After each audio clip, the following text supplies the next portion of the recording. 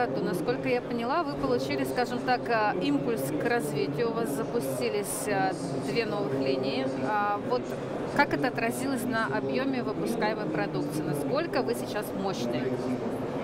Э, Ну, сейчас мы стабильно выпускаем 2 миллиона в сутки. 2 миллиона единиц наших лоточков каждые сутки. И поскольку постоянно продолжается работа над производительностью и вот этих вот работа с расшивкой узких мест и так далее, то вот надо сказать, что последние наши достижения это полтора миллиона в смену. Вот. Но пока не нужно это каждый день, потому что впереди высокий сезон, но мы уже понимаем, что мы можем уже столько выпустить. Кому и что вы сейчас поставляете? То есть как можно разделить, на какие отрасли ваших а, клиентов, ваших потребителей? Основные наши потребители – это мясоперерабатывающие заводы. Ну, мясо в широком смысле. Мясо, птица, курица, индейка, баранина, свинина, говядина. Короче говоря, все виды вот этого потребительского охлажденного мяса.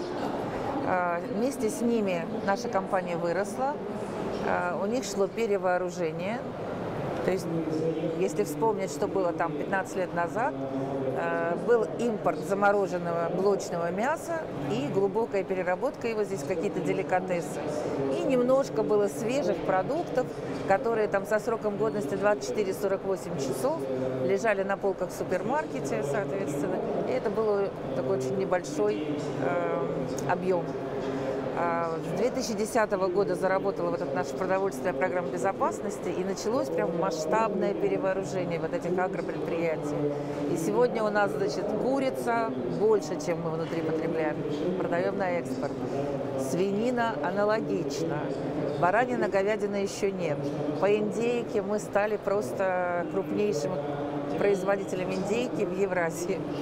А, В общем, это огромные успехи и частичка нашего труда тоже есть. Конечно, упаковка это такой маленький копеечный да, элемент, но очень важный. Без него вот эта потребительская упаковка, которая, знаете, ведь что интересно, вот они разделали эту тушу свою, которая поступила в мясоперерабатывающий завод, и буквально через несколько часов готовая упаковка со свежим мясом поступает уже на склад. А, Вся разделка проходит буквально все в автоматическом цикле в считанные часы. И это очень впечатляет. Я помню, что когда только мясо в лотках появилось на прилавках, э, я даже своим друзьям рассказывала, что вот смотрите, э, это очень классный продукт. А, Они мне говорили, нет, там не пойми, что туда положили, там кто его знает, кто его трогал, я пойду на рынок. Там. Я говорю, конечно, возьмешь на рынке, я говорю, и будешь смотреть, как мясник на грязном этом пне, в полной антисанитарии, нарубит тебе вот эти там твои какие-то куски. Я говорю, вот я уже после того, как я видела эти предприятия, просто не могу туда ходить, потому что я понимаю, сколько труда, вот эта вся чистота, стерильность, низкая обсемененность, так называемая, низкие температуры по всей этой цепочке, да, хладоцепочка они еще называют. А, И понимаю, что в этом лотке находится, говорю, для меня сегодня рынок это вообще не вариант. Да, вы так говорите, поняла, что мы уже настолько привыкли к тому, что есть сейчас, что про это даже уже не Да, вспоминается. а мы год назад столкнулись в Казахстане, как будто мы перенеслись обратно э, на 10 лет назад. Э, у нас был такой план, мы даже обучили экспортную группу там и все такое прочее, и решили, значит, так поработать в Казахстане с, с этим видом упаковки. И прямо с полное глубокое сопротивление. А, Нет, там, зачем нам это мясо? Мы пойдем на рынок. Так что это всегда требует времени. Изменение культуры потребления – это большой труд. Так, вы сказали, что основ- основные мясо. Да, сейчас Что это еще? примерно 70% объемов нашей продукции уходит туда, в мясную отрасль. Второй быстро растущий сегмент – это готовая еда. Это еще один тренд, который прям всем трендом тренд сегодня. Э, Наверное, сейчас где-нибудь процентов 28, ну 25, может быть, нашей продукции уходит в сегмент готовой еды. Так. Еще 2-3% это куда? И еще немножко, это всякое разное, например, там снеки, сухарики какие-то, там вот, вот такая продукция, которая тоже э, упаковывается в модифицированную газовую среду, тоже герметичная запайка, но сухарики как-то неловко в один сегмент выделять. Но это тоже интересное направление, мы с ним тоже работаем.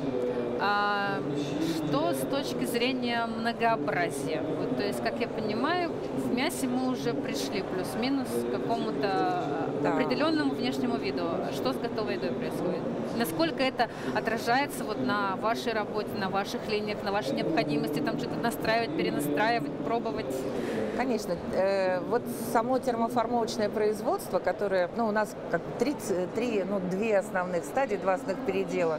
Мы берем гранулу, катаем ее в лист, в ленту, в рулон. Потом этот рулон мы передаем на формовочный участок, и на формовочной машине уже из него, как вот э, он нагревается, из него выдавливается, потом вырубается лоточек. Лоточек, контейнер, там салатничек, неважно что. Но в нашем случае это лоточек. Э, и вот этот процесс, э, он в принципе одинаковый, и изделие зависит только от того, какой инструмент у вас стоит на формовочной машине. Это многоместный инструмент, то есть там таких лоточков за один, за одно смыкание может быть 10, 12, 6, в зависимости от размера. И циклов таких в минуту там 20-30. И, то есть это такая антилопа, помните, может быть, мультик такой был, да, которая постоянно бьет копытами, и вот эти вот лоточки летят. Вот. Э, и если э, приходит клиент и говорит, что ну вот мне вот и ваш лоточек не подходит, мне нужно чуть-чуть поменьше, но чуть-чуть поглубже, ну что, вы не можете сделать, что ли? Вот. Каждый раз, если у нас нет этого геометрического размера, это новый инструмент. Стоимость такого инструмента на высокопроизводительной линии – это ну, там, от 50 до 100 тысяч евро. Вот. Как э, кто-то приходил значит, к нам на завод с экскурсией, и когда мы показали вот этот наш участок инструментальный и склад форм, и он услышал цену, сказал, это что, на каждой полке лежит Мерседес? Да. Но все-таки вот. получается, что ищем мы еще в готовой еде? А, получается, что ну, как бы мы вообще очень склонны, наша компания склонна к тому, чтобы все систематизировать, унифицировать, стандартизировать, упрощать, как говорится, сокращать и так далее. Поэтому мы, конечно, и в мясе мы э, боролись за то, чтобы э, выйти в какой-то унифицированный набор этих форматов лотков там и, и внутри формата уже что-то это же и для ритейла удобнее. Ты положил, конечно, все конечно. Но ритейл тоже должен это прочувствовать. Это тоже происходит не сразу. Вот. А сейчас с готовой едой такая же история. Вот. Как это можно сделать? Ну, конечно, когда мы с клиентом начинаем какой-то разговор, и он еще совсем с этим не сталкивался, самое простое – дать ему готовое решение. Вот смотрите, вот у нас формат 187 на 137, это запаечная рамка. Мы вам даем машину, у этой машины есть матрица, там одноместная, двухместная, четырехместная, неважно, под этот формат. А теперь смотрите, набор лотков глубокий для супчика, а, значит, мелкий для второго блюда или для салата, а, с перегородками для набора разных там фракций, для соусника и так далее. И получается, что вы своей линейкой закрываете там все готовые блюда.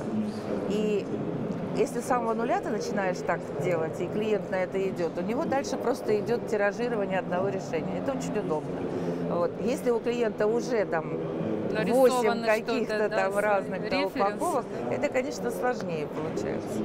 Вот. В общем, я думаю, что чем больше будет крупных игроков, вот таких грандов, да, с хороших брендов крупных и так далее, тем больше будет и стандартизация работать. Mm-hmm. А вы сказали, что вот вы покуп... ну, под какой-то запрос нужна, нужен отдельный инструмент, который стоит там, по цене Мерседеса. А, сейчас, а, учитывая наши нынешние условия, где такие решения искать? Где делать формы? Да. Ну, нас есть несколько компаний в России, которые имеют опыт изготовления форм для формовочного инструмента. Угу. В основном все эти компании, они выросли как раз от формовщиков. Компания, которая занималась этим видом упаковки, имела свое какое-то производство. Там люди набрались опыта, потом вышли и организовали собственный бизнес. То есть это филиалы бывших каких-то... Ну, они уже не филиалы, это самостоятельные, как правило, предприниматели, которые еще по совместительству являются конструкторами с хорошим бэкграундом. Вот. Э, мы с этими компаниями сотрудничаем. Э, ну, вот это основной, наверное, сейчас партнер. То есть европейские у нас сейчас уже совсем нет. А если что-то вот а текущие линии, откуда они у вас? Вообще у нас, э, у нас, конечно, с Европой очень налажен был этот процесс. У нас есть партнер, у которого есть все наши чертежи, все наши разработки. Если нам что-то нужно быстро модифицировать, дублировать, у нас раньше, в прежней жизни, мы просто писали там, вот такой-то, такой-то размер, такой-то, такой-то заказ, нужно там, значит, перегородку на одну треть сделать. И получали в течение двух часов уже чертеж на утверждение. Да? Сейчас, конечно, все это э, надо строить заново. А наши азиатские э, товарищи? Пока, пока у нас нет такого прям вот партнера по формам, ну, с которым ищите. был бы такой уровень. Ну, мы пробуем, экспериментируем. Может быть, закончится все тем, что мы просто у себя внутри это дело построим и будем сами этим заниматься. Пластик, гранулы. Не могу не спросить про переработку пластика. Вот что вы сейчас делаете в этом направлении, чтобы максимально соответствовать имиджу ответственного производителя? Угу. А, ну, во-первых, хочу сказать, что мы работаем э, с материалом полипропиленом.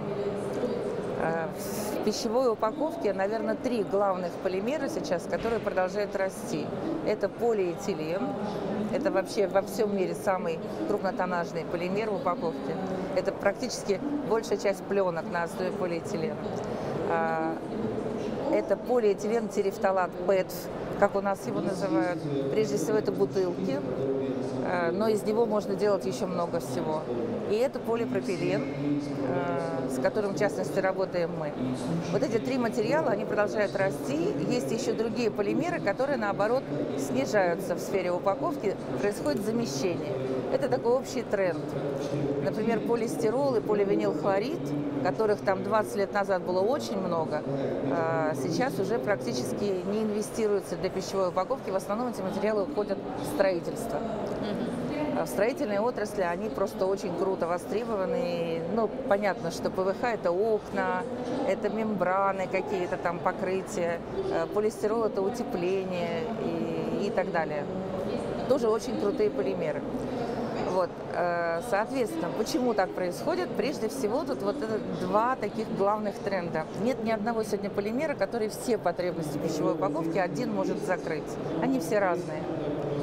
Э, например, у полипропилена э, самая высокая температурная термостойкость, самая высокая из всех полимеров. То есть мы именно в полипропилене ставим микроволновую печь э, продукты, разогреваем. Во всех других материалах этого делать не получится. Поэтому, что касается готовой еды, разогрева и так далее, то это полипропилен. Сюда же относятся технологии пастеризации, стерилизации, даже специальные марки в полипропилене для этого есть. ПЭТ это материал как раз э, с очень с очень высокой прочностью. Почему он используется в бутылках? Да? Потому что вот этот газированный напиток в бутылке, э, его же надо там удержать. То есть он не, не может не трескаться, там, и вот эти его свойства, они, как прежде всего, востребованы были там. И таким образом, но вверх, когда высокая температура, ПЭТ уже не годится, он очень быстро размягчается.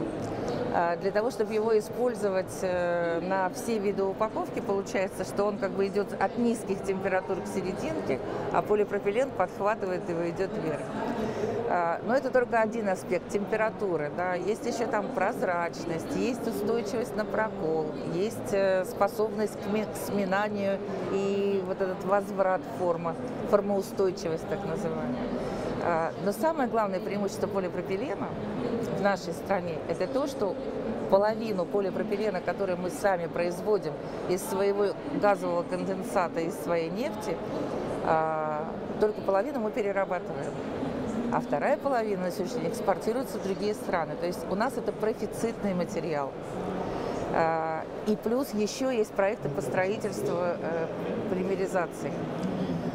А вот что касается ПЭТа, здесь обратная ситуация. Здесь мы импортируем примерно столько же, сколько производим внутри. Здесь с проектами все намного сложнее.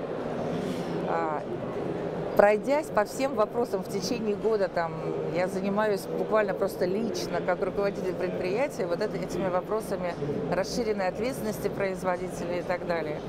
А, в итоге мы приходим а, к такому выводу, что вот эти все экоплатежи, которые сейчас мы обязаны платить, мы, видимо, будем платить. И, видимо, это просто будет э, ложиться на цену упаковки и дальше по цепочке. А какие-то проекты, связанные с тем, чтобы этот материал переработать, видимо, пойдут отдельно. А, почему? Потому что нет никакой проблемы этот материал переработать. Ну вот в нашем собственном процессе, да, мы как в пельменях делаем сначала плоский лист, потом из него вырезаем, значит, соответственно, свои лоточки, появляется высечка, мы ее направляем обратно и делаем опять плоский лист. И так бесконечное количество раз. Примерно 30% материала – это внутренний технологический так называемый отход, который повторно постоянно идет в переработку. Да, он обновляется, потому что каждый раз он идет в смеси. Но вопросов о том, что его нельзя переработать, вообще здесь не стоит. Что дальше происходит? А, значит, мы сделали этот лоток, передали его на какое-то предприятие, где его наполнили. Дальше, а, ну, такие контрагенты тоже у нас по всей стране, да. Дальше эти наполненные лотки идут в сети, они тоже расходятся по всей стране ищут больше контрагентов. И дальше они уже из супермаркетов расходятся по домохозяйствам. И все это время это крутая упаковка, это высокотехнологический продукт, это все полезная вещь. И только в тот момент, когда человек его вскрыл, продукт использовал, продукт, соответственно, до него дошел в целости сохранности, а, и он этот лоток выбросил, вот в этот момент он становится мусором, он становится тем самым вредным элементом, который может реально валяться где угодно.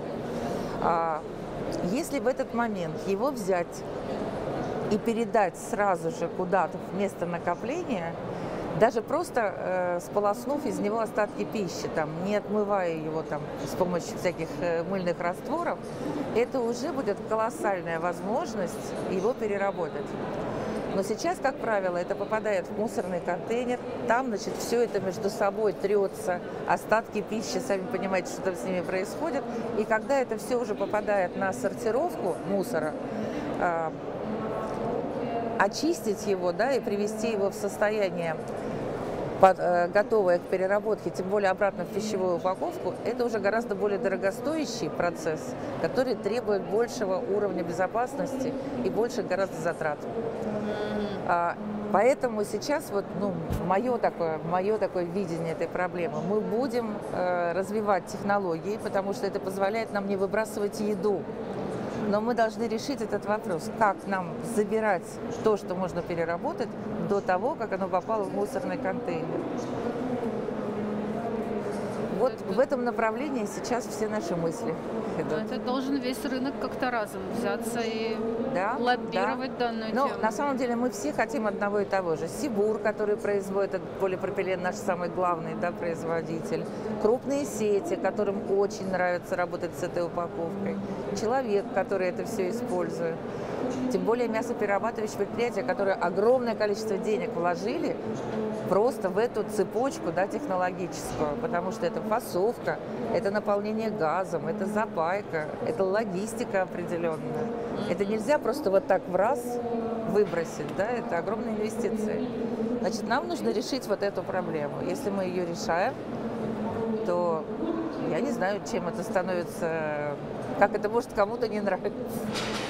Так, а если говорить о проблемах, вот то, что здесь звучит в последнее время постоянно, это а, кадровый голод, проблемы да. с персоналом. А вы сейчас как работаете в направлении, чтобы, не знаю, найти специалистов, вырастить специалистов, удержать? Что у вас происходит? Учитывая, что вы расширились, вероятно, вам требуются люди постоянно. Ну, мы не просто как бы расширяемся, а мы расширяемся э, с растущей производительностью труда, да, потому что пройдя национальный проект и почувствовав вкус э, вот именно к такому подходу, э, у нас есть ежегодный показатель. Мы должны каждый год свою производительность труда наращивать не меньше, чем на 5%. А производительность труда – это формула, в которой, значит, ваши там доходы минус расходы делятся на численность. Э, соответственно, если вы заработали меньше, а людей набрали больше, то производительность падает. И мы постоянно контролируем этот параметр, считаем, проверяем его, ориентируемся. У нас от этого параметра даже годовые бонусы топов зависят. Вот это определенным образом затачивает мышление. Поэтому основные проекты наши – это автоматизация, сокращение лишнего труда. Э, ну и вот в этой области мы постоянно думаем. Но вообще для нашей компании очень характерно внутреннее обучение, э, внутренний карьерный рост.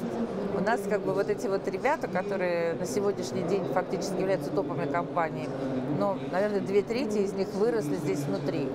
И буквально в течение последних там 50 лет это нравится людям. Приходит, э, плюс мы работаем со средними учебными заведениями, с колледжами. Вот сейчас, там, после начала СВО, это очень нас спасает. Потому что это сотрудничество было построено раньше, и сейчас к нам просто приходят ребята на практику, там, не знаю, 15-16 человек. Из них там человек 10-11 остается у нас, работает дальше. Потом они уходят в армию. И вот сейчас у нас уже есть ребята, которые отслужили срочную службу и вернулись к нам на завод. Это здорово. Да. А, финальный вопрос. Какие основные направления для развития бизнеса вы сейчас видите? Может быть, что-то еще хочется попробовать, либо есть какая-то потребность еще у рынка, чтобы да. вы могли производить? А, я, наверное, немножко в другую сторону да, пойду, потому что э, ну, мы такая компания, которая все любит осмыслять, Э, поэтому мы осмысляли, осмысляли, соответственно, вот ту упаковку, эти технологии, в которых наша упаковка работает, накопили уровень экспертизы хороший. И, и в какой-то момент мы поняли, что мы можем не только э, расходники продавать, но мы можем и с оборудованием работать. Э, и начали мы с полуавтоматических запайщиков. Как раз они очень нужны для маленьких клиентов, для готовой еды в том числе, там, где большое разнообразие, там как раз где несколько форматов и так далее. Вот, мы начали с них, а, а на сегодняшний день мы уже имеем несколько контрактов на крупные линии, а, комплексные, с хорошей автоматизацией. Делаем мы это совместно а, с нашим китайским партнером. Работая, ну, проекту этому ровно год, потому что начали мы на прошлом Food, мы познакомились с этой китайской компанией, mm-hmm. именно здесь, да. И вот за год мы на самом деле очень хорошо продвинулись. Э, подход у нас э, к продаже оборудования тоже, поскольку мы очень много сотрудничали с европейскими компаниями да, на уровне совместных проектов, взаимных рекомендаций, у нас есть определенная планка, стандарт и поэтому э, ниже которой мы не можем опуститься. Э, сегодня у нас подготовлено там 6 сервисных инженеров. Опять-таки, это наш внутренний рост. Мы взяли ребят, которые работали на нашем оборудовании, предложили им такую форму роста. Они с удовольствием значит, там, пошли, прошли уже два этапа обучения по этим видам оборудования, и у них еще программа дальше расписана. И сегодня они уже выезжают на запуски, э, на обучение персонала наших потребителей. Вот. Э, склад запчастей обеспечили. Э, плюс э, по вот этому типовому оборудованию мы держим его на складе. Мы привозим сразу контейнер, просто зная и понимая, что нужно рынку. Мы не под заказ его возим, а прямо контейнер привозим и продаем со склада. Подходит он у нас к концу, есть как бы вот этот вот светофор, что вот уже, значит, там мы в желтой зоне, мы делаем новый заказ. И так уже третий контейнер сейчас пришел. Вот. И, а большие проекты, когда, например, там от мультиголовы до готовой упаковки с э, термочеком, там, с этикеткой и с проставленной датой, вот эти вот линии автоматизированные, это, конечно, индивидуальные проекты. Э, здесь и мы развиваем и компетенции по проектированию, и это стало для нас очень хорошим поводом вообще к трансформации нашей компании. Да? То есть если там два года назад мы были завод по производству упаковки, то сейчас мы компания, которая может предложить комплексное решение. Вот так мы, такое развитие. Это очень здорово. Мы вам желаем дальше двигаться в том же ключе. Спасибо большое. Спасибо.